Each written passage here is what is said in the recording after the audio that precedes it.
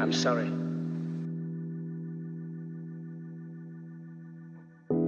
I don't want to rule or conquer anyone.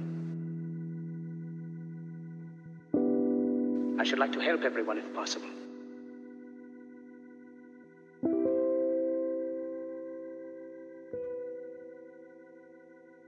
We all want to help one another. Human beings are like that. We want to live by each other's happiness, not by each other's misery. We don't want to hate and despise one another.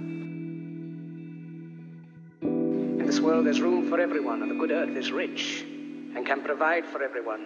The way of life can be free and beautiful.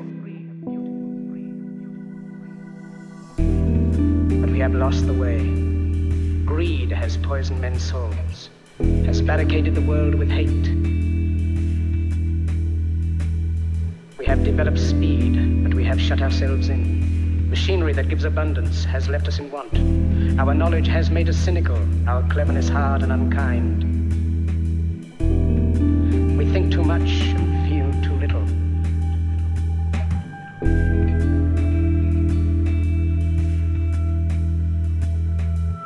More than machinery, we need humanity.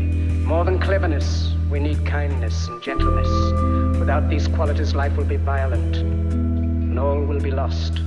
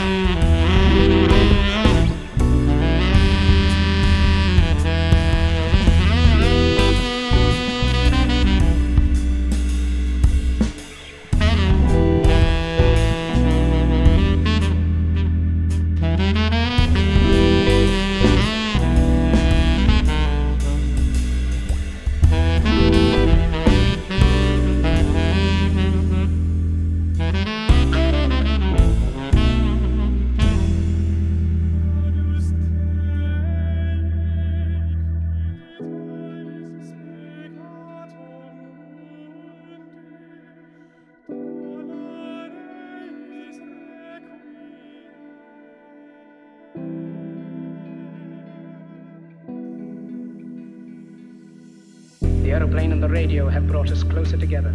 The very nature of these inventions cries out for the goodness in men, cries out for universal brotherhood, for the unity of us all.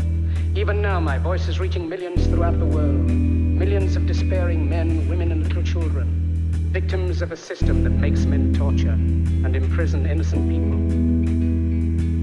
To those who can hear me, I say, do not despair.